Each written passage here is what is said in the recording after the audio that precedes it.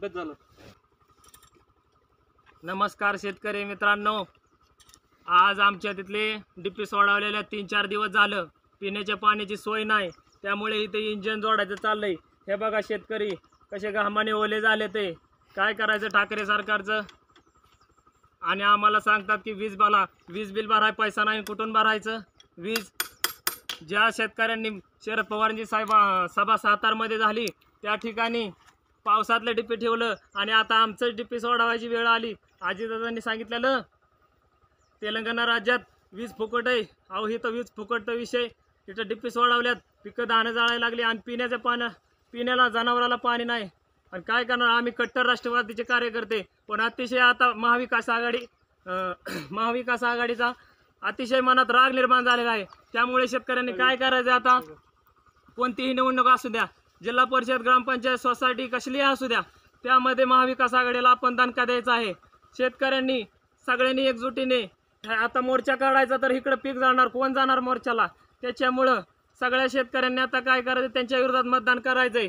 आम्ही मजबत्ता मग भरणीचे कार्यकर्ते आहोत पण काही पर्याय नाही. राष्ट्रवादी कुणी असो शिवसेना असो तिघं एकत्रित झाली पाहिजे. त्यांचं आता त्यांना एक झटका द्यायचा आहे. त्याच्यामुळं आपण विरोधातही करायचं आहे मतदान. आणि त्यांना समजून द्यायचं की शेतकरी कशा त्यांना काहीच वाटना शेतकऱ्याचं हे करायचं ते करायचं. अशा पद्धतीने आपण आता काय करायचंय त्यांच्या विरोधात मतदान करायचंय आणि त्यांना झटका देऊन दावायचा शेतकऱ्यांचा काय असतो ते? अतिशय दुर्दैवी आपले पिकं जाळायला लागलेले आहेत. उसाला पाणी नाही. द्राक्षेचे हे व्हायला लागले. आणि आजी दादा म्हणतात डायरेक्ट लाइट सोडवा.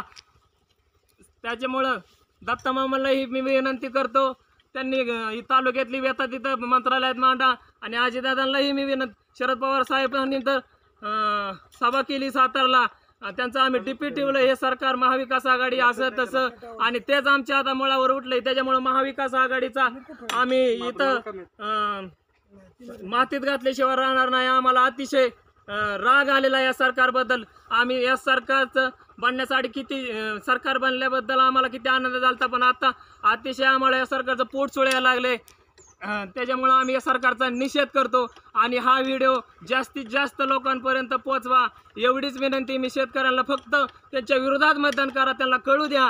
तिघं एकत्रित झाली तरी निवडून नाही आली पाहिजे. त्यांना त्याशिवाय कळणार नाही. एवढीच मी विनंती करतो आणि हा व्हिडिओ जास्तीत जास्त लोकांना शेअर करा. धन्यवाद.